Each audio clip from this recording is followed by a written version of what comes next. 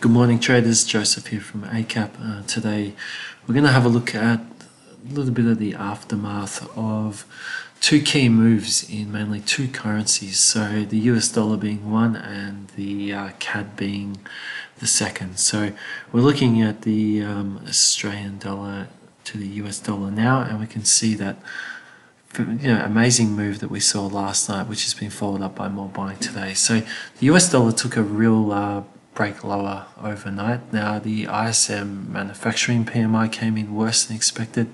Uh, that added to the woes of the USD. Uh, we also had comments come out of the uh, ECB, and we'll get onto the euro in a moment. So we can see that basically the Aussie dollar now has broken out of this uh, medium term downtrend. Um, we saw support that um, is now being looks like it's confirmed at support point. Uh, that's around that uh, 67.50 to 55 area. Um, so what we're going to be looking at now is this is a bit of a statement bar. So will we see this continue higher? Uh, we have to keep in mind that uh, later today we have the RBA rate decision and RBA rate statement that rates are expected to stay on hold.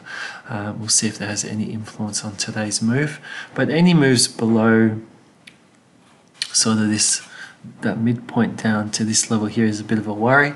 Um, we want to see that buyers maintain sort of this area um, to produce maybe uh, another follow-up rally if we do see selling and then push higher to possibly get back up to uh, that 68 60 point uh, to start uh, really trying to show that we have a new um, a new trend underway. So we'll move on to the euro now. It's a very similar story. The euro made a solid break, uh, move higher. Now the difference between the Aussie and the euro is yes, there has been a trend break here.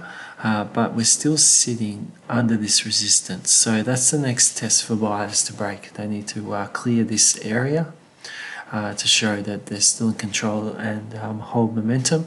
It's a, but it is a very good starting point to see on that bar that we saw yesterday. Now, an interesting one is the dollar CAD. Um, we didn't have like a lot of, you know, high impact news for the Canadian dollar, but the Canadian dollar was very weak last night. Now, we can see the USD, which was absolutely trounced against a lot of the pairs and was absolutely trounced to the yen. Um, it made a very solid session to the CAD. Now, um, this wasn't only the USD that did this. The CAD also fell quite heavily against the pound.